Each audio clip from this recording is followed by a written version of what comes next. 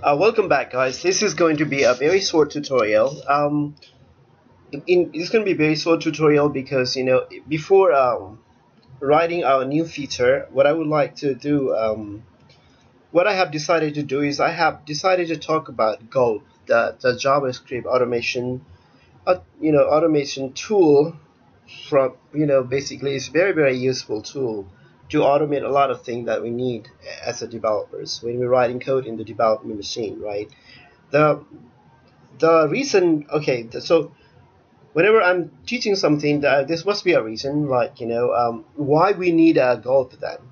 The, I will show you the reason why we need it. Okay, let me go ahead and start. Let me show you start my project here, and uh, by the way, in the following video tutorial after this one, we will be building this feature. We will be building this feature um, from the scratch. I will show you, you know, all the steps that is needed. So basically, some of the functionality that this is the view portion, admin view portion of the product. This will be building from the scratch. However, today we, I'm not going to talk about how to build this one. I'm not going to write any code related to this one yet. But before that, I want to briefly touch about the thing that we need uh, that definitely helps us, you know. Uh, so, what I'm going to talk about today is uh, Gulp and, and, a plugin for called um, Gulp. That's what I'm going to talk about. Okay, the reason, okay, let me explain to you why we need this one. Let's say this is my uh, server-side code here, product config, and for some reason, let's say um, I don't like the title of my uh, view product title. When I say a title, I'm referring to this particular piece right here. This is, I just want to have it to be view product instead of testing with Gulp. So, you know, I found that bug. I don't know, maybe QA found bug in your application. And just go in here and you change it. View product. And you save your file here. And basically you refresh. Even though you change that and uh, you refresh your page, nothing is happening here. It's nothing is happening here because uh, your server hasn't restarted, right? You have to to reflect that changes. The server has to restart. But there is no any tool or process that constantly monitoring our uh, server and restarting it when in, we are building when we are writing code in a development machine. So to do that, we need a tool with a task runner called a, a Gulp. There are a bunch of them. There are a lot of them, but uh, Gulp is um, there is a Gulp, and of course there is the Grunt. Gulp is more like you you use a code-based convention. The other one, the Grunt, is like a lot of configuration. So both are really awesome too. You know, you decide which one you're gonna you're gonna choose. But I even so, I'm gonna briefly let's say now we have decided we need some kind of tool to you know constantly monitor our server to make sure any changes will be reflected. So um, so what we're gonna do? Very first thing, of course, we have to go. We have to do is we're gonna go into our under console. We're gonna open command prompt here, and we're gonna install using npm npm using the install command of npm, and we're gonna download the gulp here.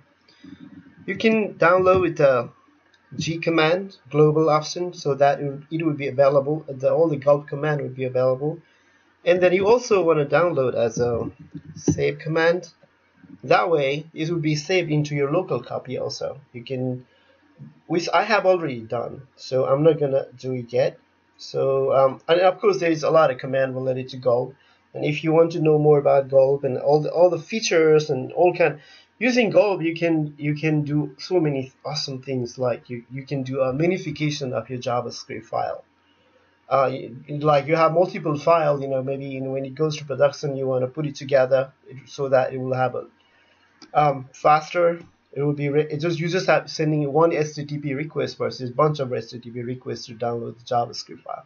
Anyway there are so many reasons to use Gulp but here it's one simple okay once you download the gulp so what happens in your project is there is a file called um,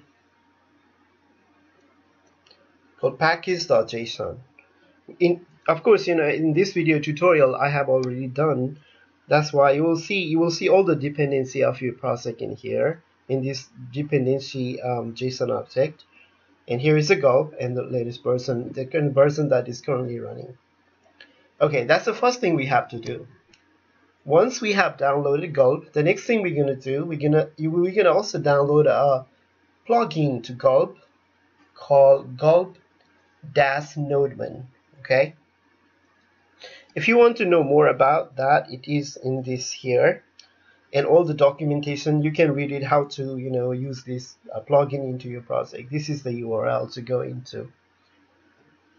So um, so that's the next thing I'm going to do. So um,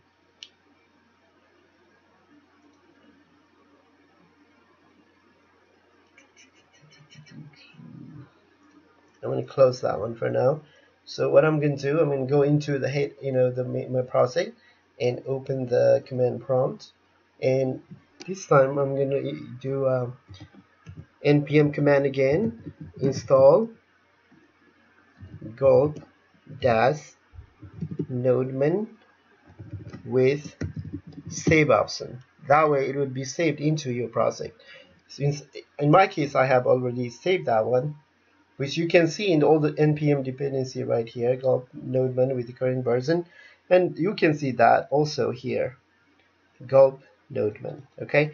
Those are the two steps once okay now next once you have done that the next thing you want to do next thing you want to do is of course now um, go into your uh, main project and add a file a JavaScript file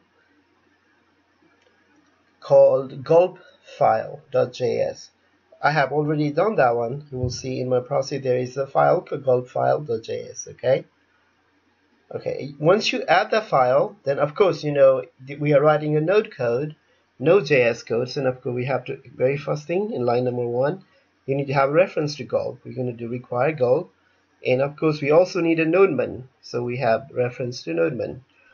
And like I said, you know, this I'm not going to use Uglify in this video tutorial, so this is just to uglify my code, but I haven't written any code related to this one, but if you need it, there is another plugin, Gulp plugin, you can use to uglify your code. Alright, if you are not familiar with the Gulp, Gulp is a, it has a very nice API.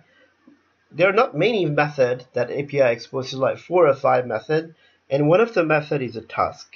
Okay, so what we, the task, the way we're gonna invoke the task is that we're gonna give a name in this case I named it as default and a callback function here and the callback inside the callback function this is another process nodemon we invoke the nodemon second plugin that we downloaded and we're going to specify some parameter here we are saying this is the script file that you I want you to monitor and any any file that has extension JS and you can specify the environment in object port so basically we are saying the server would be monitoring on port 9000. It would be running on port 9000. And, and of course this, it would be run, after that I'm going to call on method. It's one of the event restart. So basically this, on restart I want to run the server. That is the command. Okay. Once that is all defined, now what I can do if you have you know done all the steps correctly that I showed you now what you can do is you okay you know usually let me put this code right here so that people can see it you know um, this otherwise you know there's a lot of example in their um, you know their website also you can play with it. And once that is done I can now I can say uh, gulp. And then Mike you can just see a gulp also defined by default I think that is scan that name and basically that code right here gets executed.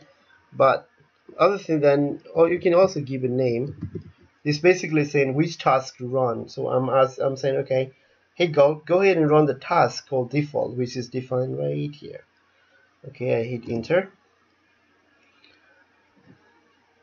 see it is restarting our server Okay, so at this point, what we can do is we can open our browser into import 9000. So right now, this is running from the Visual Studio plugin, right? So I'm gonna I'm gonna close this one and open new instance of the browser. and go into uh, localhost and port number 9000 and if I go into view, pro, uh, view project here like this now now just to demo that the you know like when we change something in the server side it automatically automatically that change it would be reflected. Let, let me show you um, let's go into the same um, the configuration file and change the title of the product so add something else.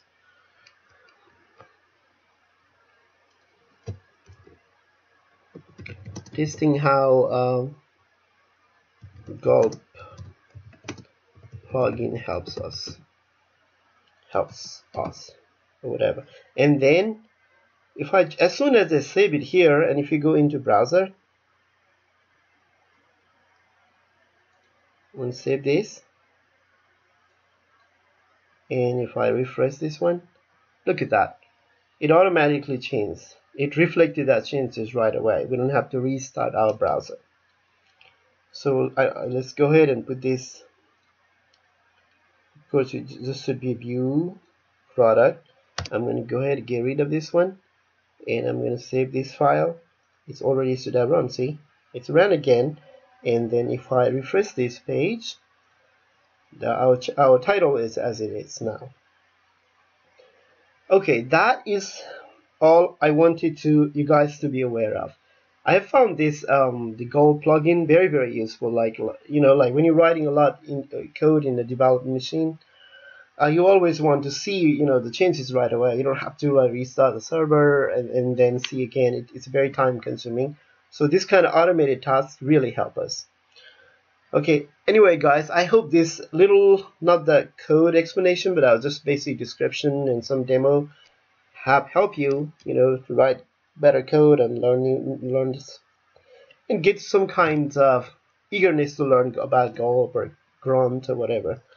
Thank you so much for watching my videos. I will be continuing, you know, uh, you know, uh, as I said, we'll be uh, write this. We will show you how to write this feature in my next video tutorial. Have a good day.